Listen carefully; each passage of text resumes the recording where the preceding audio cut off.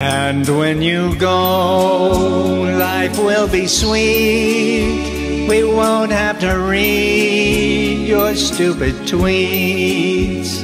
We'll laugh every day, we'll sleep every night, knowing the world just might be alright.